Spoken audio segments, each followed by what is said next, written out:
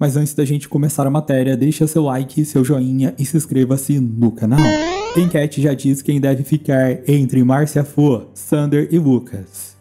Na noite desta quarta-feira aconteceu mais uma prova do fazendeiro onde foi uma prova totalmente injusta. A dinâmica da prova foi feita para beneficiar Lucas e Jaqueline que jogaram contra Sander. A prova foi de memória. Aparece um gabarito, tinha que acertar duas sequências do gabarito. Quem acertasse o giroflex primeiro responderia certo e puxava duas alavancas do adversário, que tem quatro sapos, e fazer com que os sapos caiam todos. E se cair os quatro sapos, é eliminado da disputa, está fora da disputa. Lucas e Jaque jogaram contra Sander, que foi eliminado da prova e já está na roça. Na última etapa foi disputada de Jaque e Lucas. Eles teriam que fazer essa mesma sequência, mas eles puxavam somente uma alavanca do outro. Jaque foi a mais rápida e venceu a prova. Isso mesmo, ela é a nova fazendeira da semana. Então estão na roça Sander, Márcia Fu e Lucas.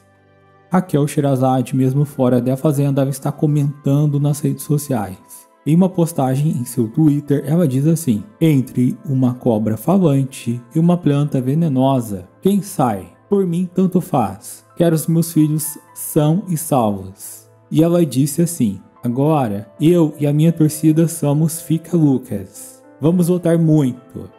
Ainda no Twitter, já a enquete do Central Reality diz assim, lembrando que é para ficar, a enquete é para ficar. Lucas aparece com 44,3, Márcia Fu com 50,8 e Sander com 4,9. Então a enquete do portal Central Reality está dizendo que Sander deve sair, pois ele aparece sendo o menos votado para ficar. Já a enquete do portal UOL, o resultado não é diferente.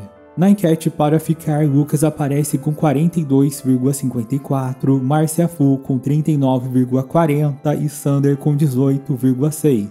Então a enquete para ficar está dizendo também que Sander deve sair, pois ele aparece sendo o menos votado para ficar. E você, você concorda com as duas enquetes que estão dizendo que Sander deve sair? Quem você acha que realmente merece sair? Lucas, Márcia ou Sander?